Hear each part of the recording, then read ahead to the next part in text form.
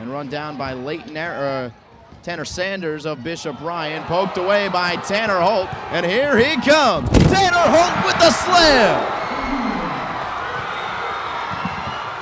Oh, he brings down the house.